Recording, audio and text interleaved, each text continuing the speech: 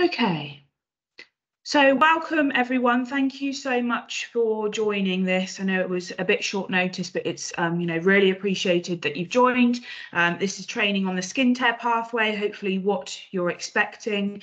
Um, quite an exciting piece of work that we're rolling out um, within the nursing dual registered and then eventually the residential homes as well.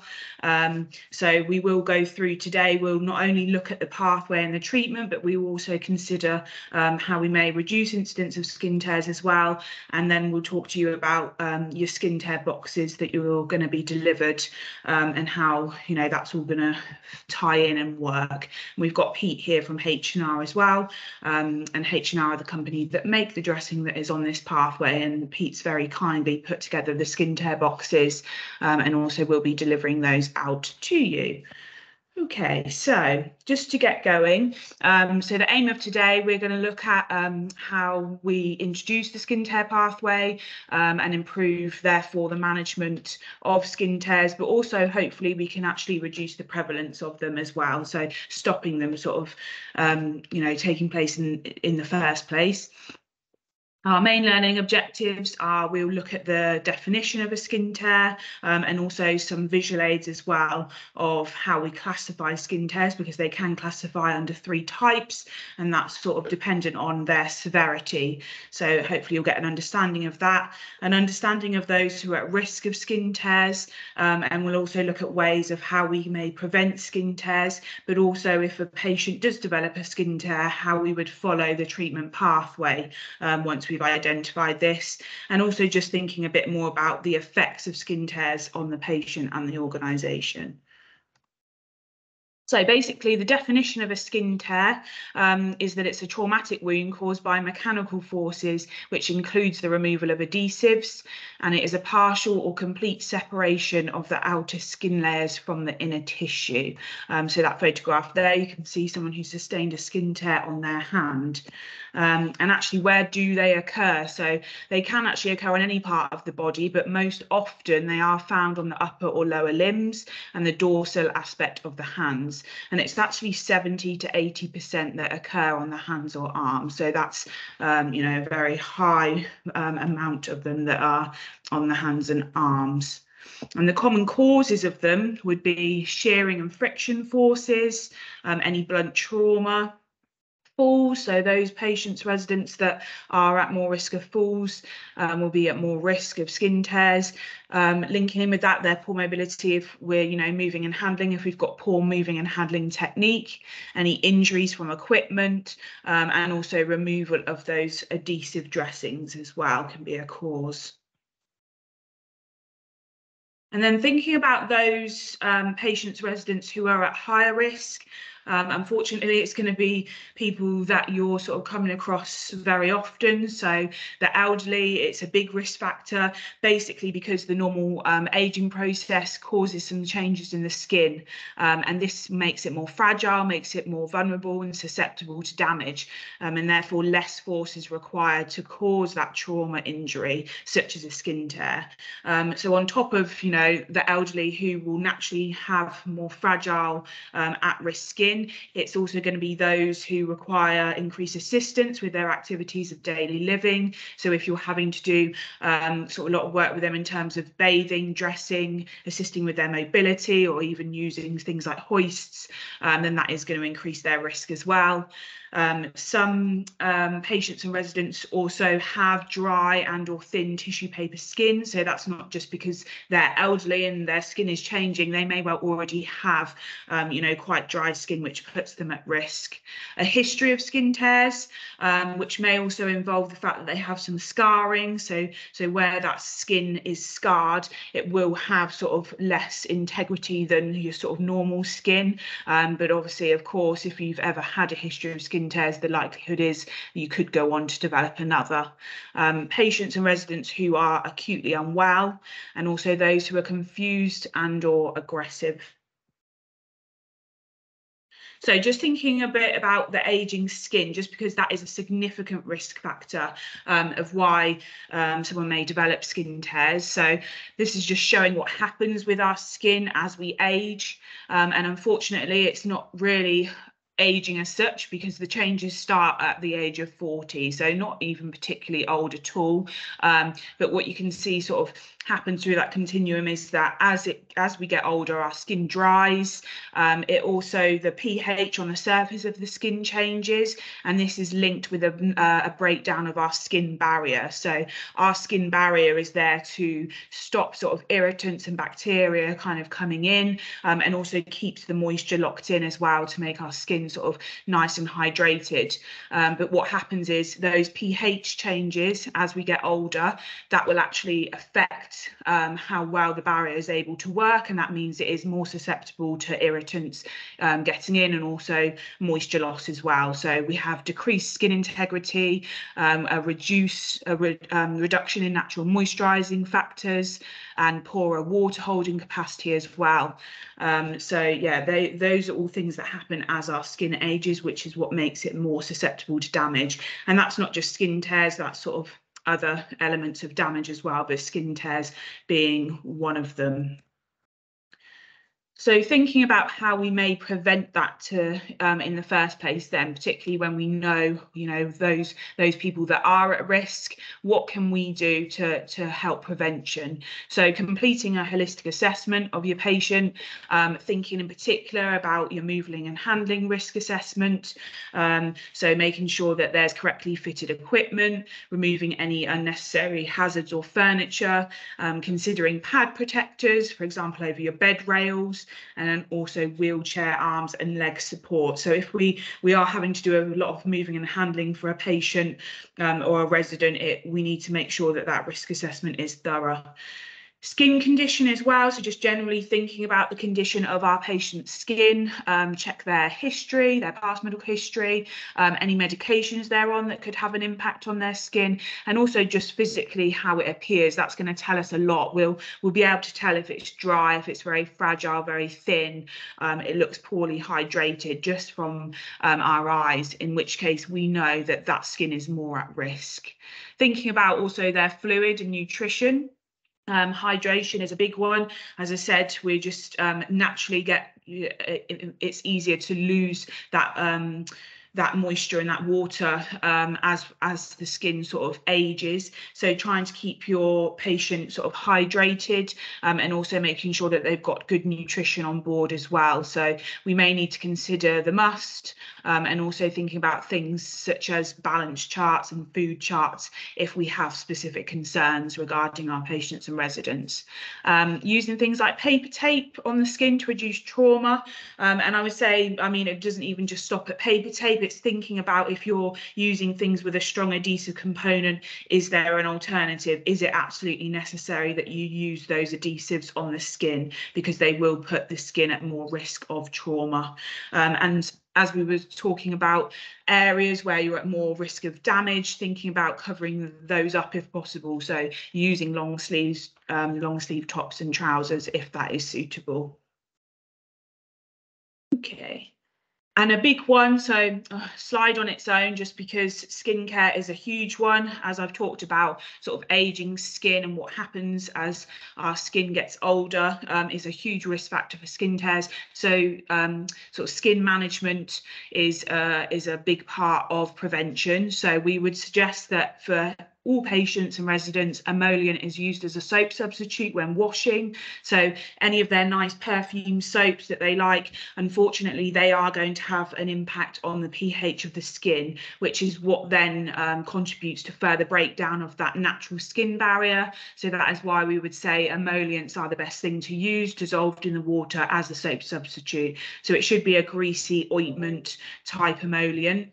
Um, and then after that, we would say to after dry drying to moisturize the skin with an emollient also. The ideal would be twice a day. We understand that that's maybe not always um, something that's achievable, but once um, is going to be, you know, better management than nothing at all. Um, so it should be a vital part of their skincare. It should be part of their sort of um, sort of washing and um, cleansing regime, really, with their personal care. Um, it it will promote their skin health and also certain emollients, ones that contain urea, um, for instance, will help to lock in that moisture that will naturally be lost in that elderly sort of skin or those skin, um, those skins that are drier in some patients. Um, this application, so emollient use alone, has been shown to um, reduce the incidence of skin tears by up to 50%. So it's a huge, huge impact that it has just by good emollient use. Um, and at the bottom there is the skin barrier management pathway. So this pathway um, I, am aware you won't be able to probably read all the small boxes there, but this pathway is available on our website under the resources tab. Um, but essentially, everything that I've discussed there with emollient uses on the left hand side, the far left, where it's sort of greeny yellow and says prevention. Um, and that's it's just basically what we advocate for all good management of skin, emollient as a soap, and then putting a leave on emollient after drying. Um, and then as it goes through the continuum of the pathway, it also considers patients who may be at risk of moisture associated damage as well and what products we may need to introduce to to help mitigate that.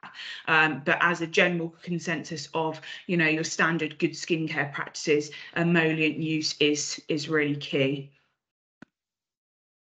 Okay so that's sort of covered those that are at risk and what we can do to think about prevention. Unfortunately, though, there will be those patients and residents that will sustain a skin tear.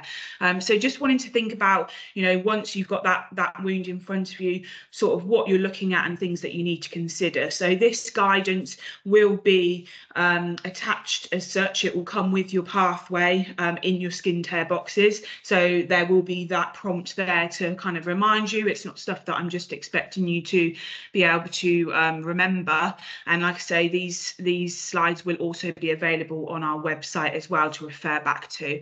Um, but essentially, when we're looking at any wound, not just skin tear, we need to be thinking about the TIMES framework, um, just to think about what our sort of um, plan is, um, and so that we can set appropriate treatment goals and optimise the management of the wound. So our T um, stands for tissue. So you would need to just be looking at your wound bed, thinking about the tissue that's that's present there. Hopefully with your acute skin tears, you're mainly going to just be seeing the epithelialization and granulation, that nice healthy sort of pink red tissue. But we do need to consider if you've also got slough or necrosis, um, that, that they are tissues that are dead. They require debridement, removal um, as appropriate because they're not conducive to healing. So thinking about what you've got present there and what your overall goal is. I stands for infection. Um, so again, with skin tears, it is to be mindful that it's different to inflammation. So with often with acute wounds, um, even if you or I were to sustain a skin tear or some sort of trauma wound, there would naturally be an, a slight element of sort of redness around the edge. And it's that normal inflammatory reaction that your body has to with an acute wound. Um, but what we do need to consider though is, you know, past that, beyond that, if there then is showing signs of wound bed infection. So a tool that's really useful to help um, consider and diagnose wound bed infection is the AMBLE tool, and that stands for the Assessment and Management of Bacterial Loading in Wounds, and that is also available on our website under the resources tab. Um, and it basically just outlines some of the signs and symptoms to look out for, and therefore what the management should be um, in those instances, because the pathways is very straightforward and it's just use of one dressing. But if we've got other things going on like infection, then that's when we're going to need to change our management um, and the tool kind of guides you on on what dressings so antimicrobial dressings that should be used in those instances.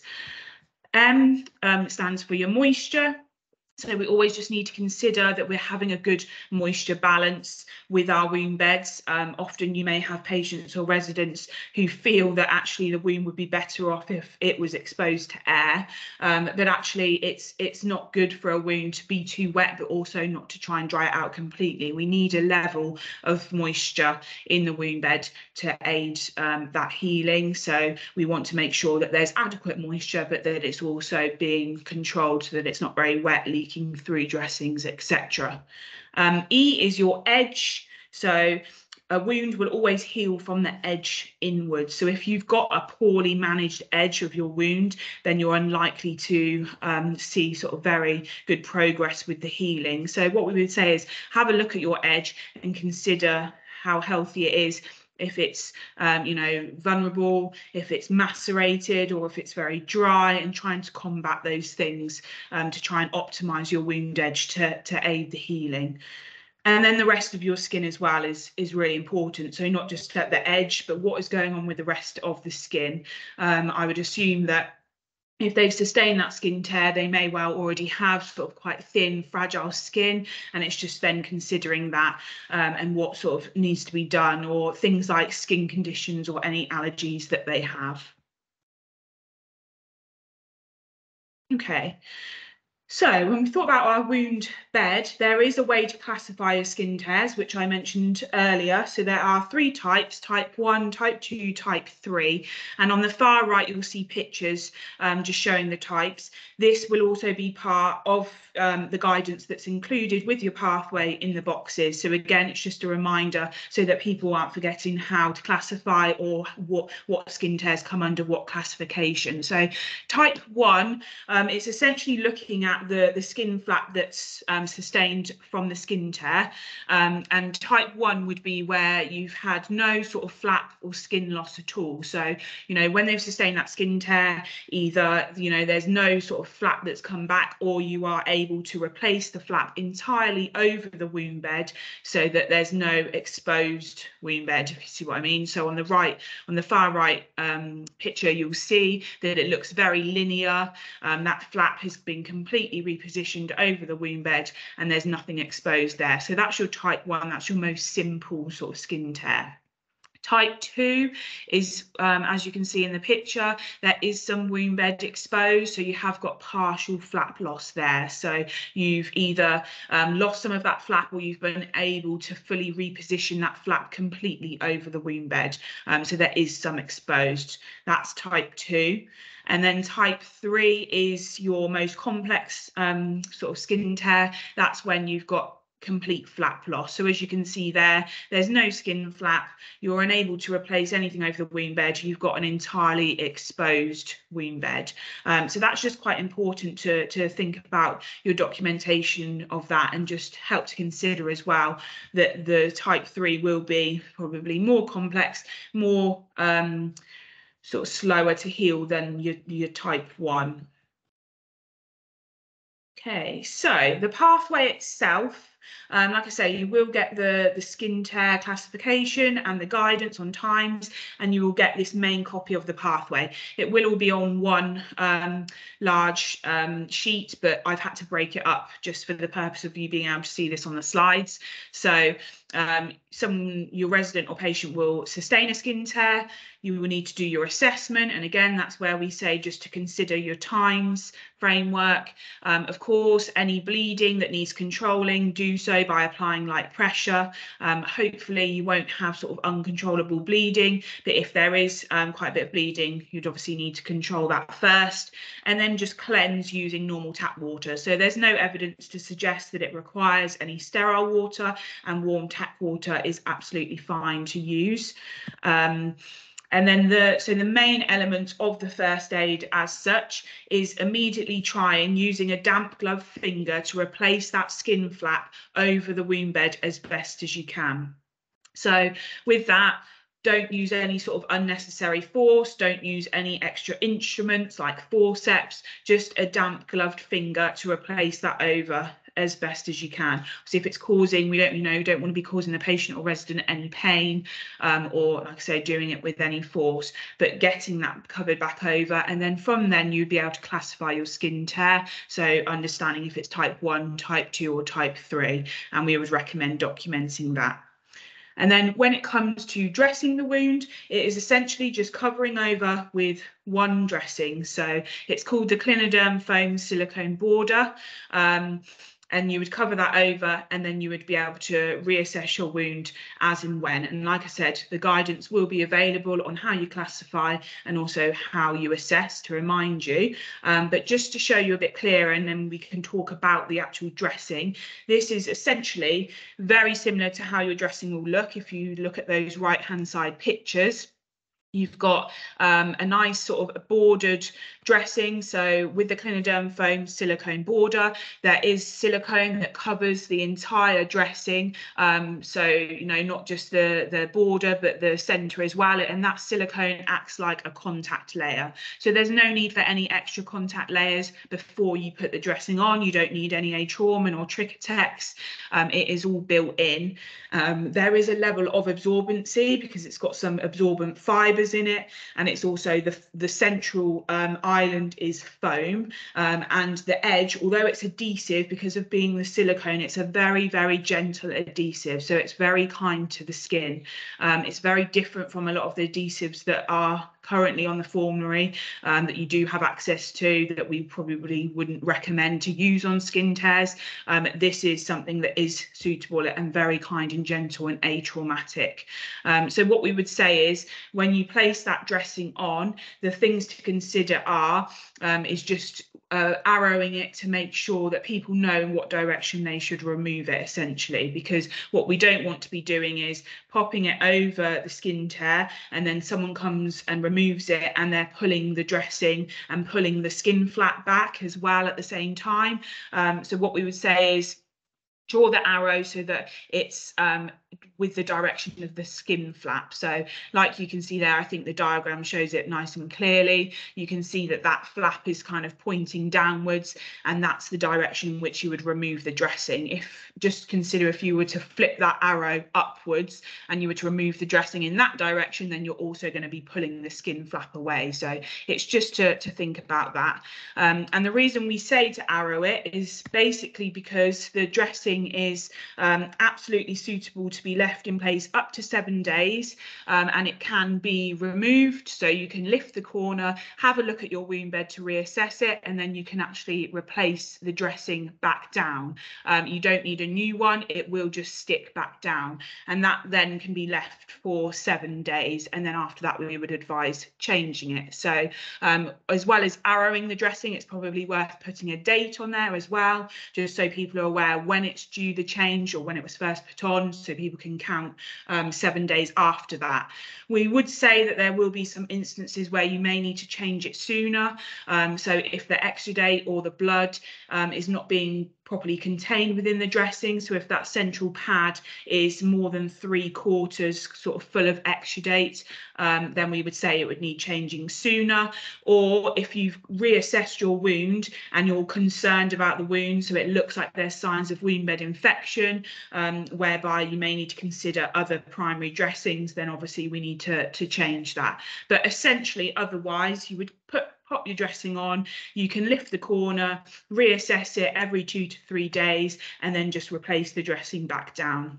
Um, Pete, I don't know if you want to show everyone if I stop sharing for a mo, just so people can have a little look at you using the dressing. Um, one second. It's going to let me. Okay, I've just stopped presenting um, and then you'll be able to see Pete a bit closer.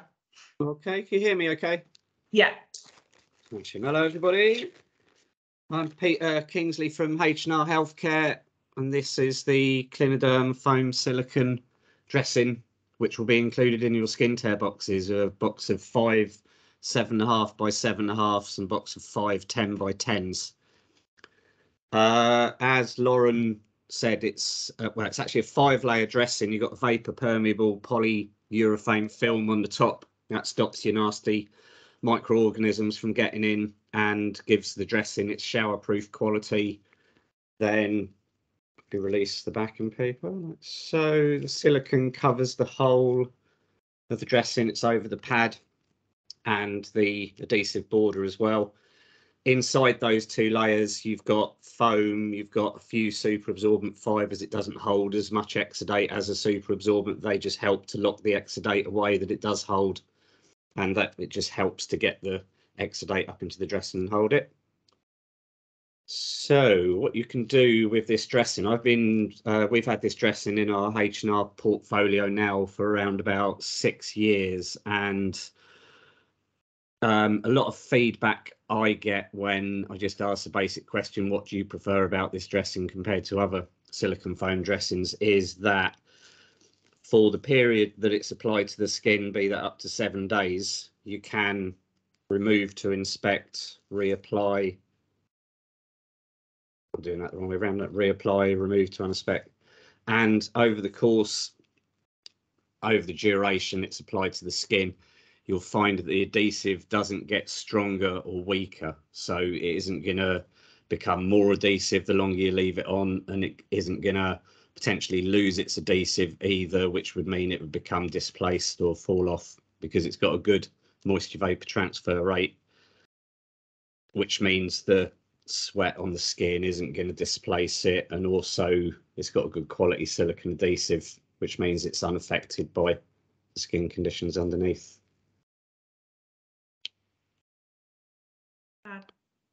Thanks, Pete. That's really helpful, just so that everyone can see it in action. Thank you. Right, I will just share my slides again.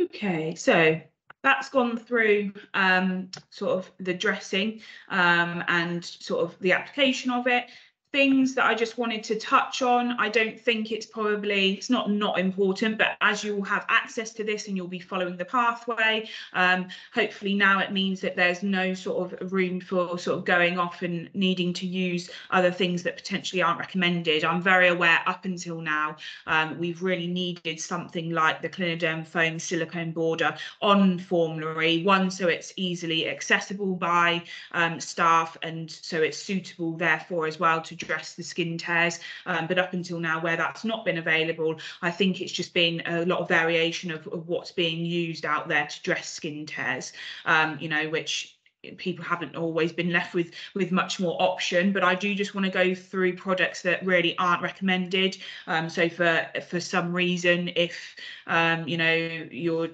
just even passing on any learning to anyone else or you come across someone using something that's maybe not recommended just for education purposes it's good to know things that are probably going to be a bit more detrimental. So um, products we would say not to use would be iodine based dressings. Um, the reason for this is that they actually dry the wound out and also the peri-wound skin as well. And that dry skin is a huge risk factor for skin tear development. So that is the reason why we say not to use any iodine based dressings, films and hydrocolloids um, again, obviously, I talked about the fact that we do have these adhesives on formulary, whereas the Kliniderm foam silicone border is a very gentle adhesive. Those films and hydrocolloids have a lot of a stronger adhesive component, um, and these can contribute to medical adhesive related skin tears. So we would say that they wouldn't be recommended for use on a skin tear. We don't want to cause any further trauma um, or affect that, that skin flap at all. Skin closure strips. Um, again, sort of the best practice guidance um, and the skin tear advisory panel. They have experts who haven't really given a clear reason indication, but they've said that that expert opinion suggests that adhesive steri strips are no longer a, a preferred treatment option. My assumption would be is that because again they have quite a strong um, adhesive component to them, and I think it's almost like forcing the flap into a play into sort of place really. Um, and yeah, they can be, you know, especially if someone's gone to town and put loads on, they can be quite difficult to remove. They are very adhesive. And gauze is a big no, um, just because it increases the risk of flap displacement when you're changing your dressing um, and also increases the risk of skin necrosis. I would also say as well, not only that, but um, I've seen gauze sort of placed on as that primary dressing before, um, straight over the top of a skin tear, and it's got really stuck and it's been really difficult and painful to remove for the patient and resident. Um, so yeah, definitely no gauze.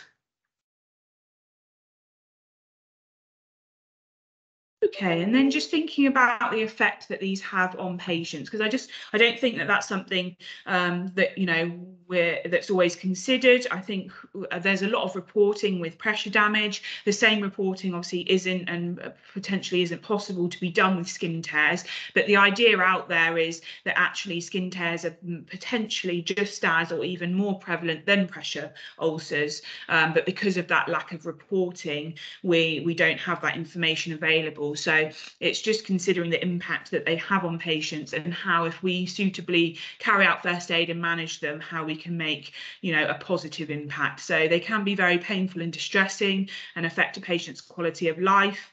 Like with any wound, there is that potential for infection.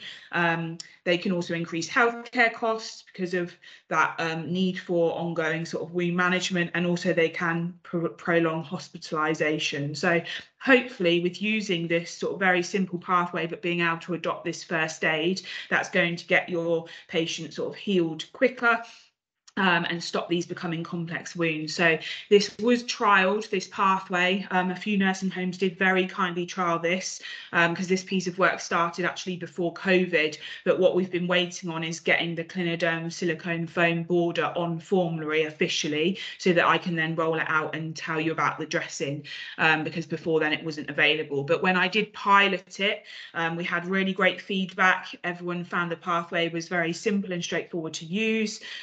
And as well as the dressing, it's just one dressing that goes on. The patients had good feedback as well of they found the dressing comfortable. It's sort of skin coloured, low profile, so you know it can sort of quite unnoticeable as such. Um, so yeah, it's been it's been really um, good feedback from it and anything that I've sort of spoken about. So I did talk about a few resources, but also this um, entire presentation and the skin tear pathway itself is available on our website. So um, our address is there. But like I said, what the next steps will be now is Pete is coming out and he is delivering the skin tear boxes to you guys. Um, in that box will be, um, it will very clearly, I think Pete's going to hold it up, very clearly says skin tear box on the front. So you can't go wrong. You Everyone knows what it is. Um, it also has a reminder in that bottom right hand corner just about where you access the training resources. So that black writing there, it gives our website um, details again to access the training resources. And then inside your boxes, what everyone will receive is a copy of the pathway, like I mentioned, that's laminated. On the back is um, the stock list, I believe, yeah, so all the stock that should be in the box. So it just to stop people adding unnecessary items or too much of an item in the box. And then you've also got laminated guidance. So that's um, the sort of the times framework I went through, but it also looks at how you classify your skin tears and then it shows that picture of um, how you the how you would um, draw your arrow to ensure that it's removed in the correct direction. And then dressing wise, um, just you've got your Kliniderm foam silicone border in two sizes. So one box of your seven and a half by seven and a half, one box of your 10 by 10, and then you've got a Sharpie pen in there so that you can arrow and date your dressing. And then Pete's also put in some rulers, which are handy um, for measuring when you're taking pictures to put initials, etc. on um, patient identifiable stuff. And you've got your dressing packs as well. So obviously to carry out your dressing. And one is in a small to medium size, one is in a medium to large size. So Pete's very kindly providing these boxes with that stock. What we would say is um, the stock that will need replenishing, i.e. the dressing packs and the Kliniderm foam silicone border, both of those items are available for you to order on your Halo systems. So you'll get those boxes initially, but once you've sort of run out of the stock and you're needing to replenish it, it was via Halo. And it says that both on the side of the box on a sticker, and it also reminds you of that at the bottom of the stock list as well. So anyone who's who's just forgotten, that is how you get it. So there's no GP prescriptions. We're not not waiting. Um, it's orderable on there, and then you should sort of then have access to it um, quite freely and easily. Um, and we would just say to carry the one box of each size at a time. We're not needing to stockpile lots of sizes um, or lots of boxes of the same size. There are bigger sizes of the Kliniderm foam silicone border available as well, but we felt that probably, you know, we wouldn't need a much bigger one than that for skin tears. If you've got a skin tear that's loads bigger than a 10 by 10, then it's probably quite significant. So um, we didn't feel that it was something that should be included as standard in the box. Um, fab. Okay. Has anyone got any questions? I will just stop recording so that we can get to any questions. Uh, let me just stop. Lovely.